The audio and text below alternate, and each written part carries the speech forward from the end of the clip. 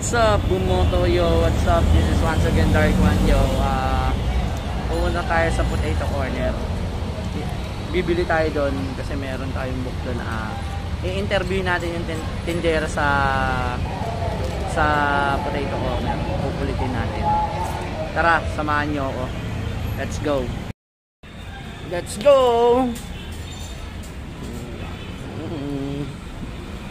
Tara, let's go!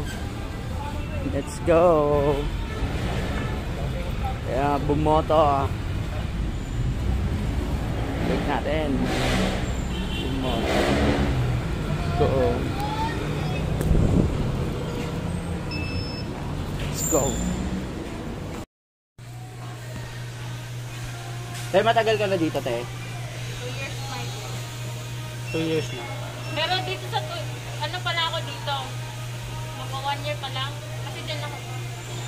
Mahirap, mahirap na dito. Pero okay naman, nalilibang ka. Wow naman! Wow! Wow! Ay, ngayon lockdown, nakakaba nakakabawi ka ba di sa ano? Di sa benta mo? Matumal talaga. Siyempre, kailangan mo magtrabaho eh, no?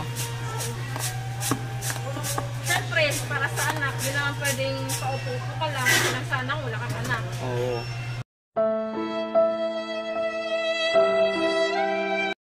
Bali sana kung dalaga ka lang, sakto na sana yung ano mo, no? Oo.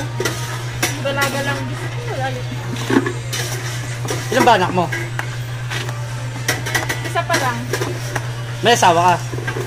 Ay, bobo naman yun. Ba't iniiwan ka? Sayang naman. Ganyan talaga. Baka may pagkukulang ka, iniiwan ka. Grabe naman, no? Oo.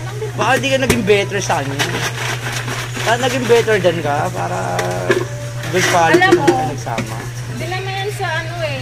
Kung pag pagkulang ka. Kung may, kung ang tao talaga, kung hindi talaga makontento sa isa, maglulok at magluloko yan. Magsipilo ka ha! Dilaw na ipin mo! Tama. Tama yun, tama. Pero naging ina ka na, naging tatay ka pa, no? Okay lang. Pero bilib ako sa'yo sa ganyan mo. Good dyan. Bilib ako sa pagiging ano. Pasan mo na yung pinasan paras, pinasan mo na lahat, no? Pinagpaguran ko yan eh.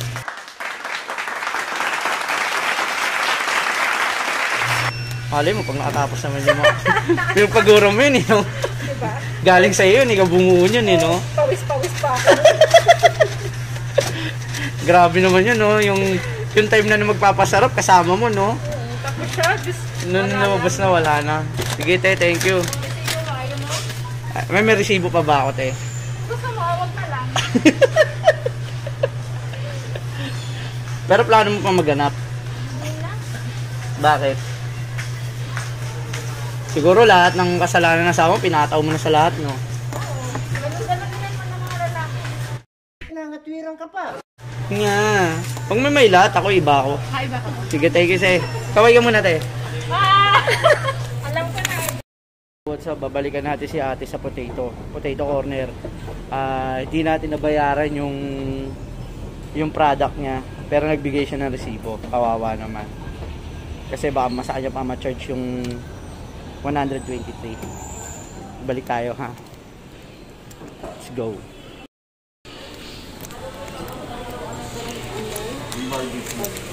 Ay ate. Te, Ano naman? di pala kita binayaran te. Oo po na, no? Oo, kawawa naman sa'yo naman. yun. Alis. Eh, nagpa-vlog siya eh. Siya din. Magkano yung tayo? 123, no? Tingkol sa bakit? Ano ba? Dati, oh. 123. Nagbibigay. Yes. Ayaw mo ba?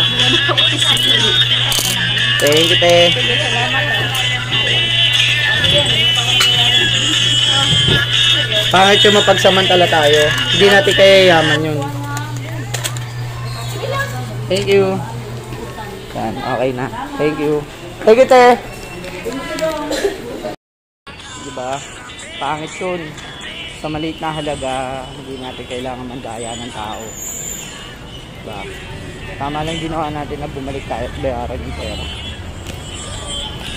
Kasi ang panluloko sa kapwa may kapalit dun.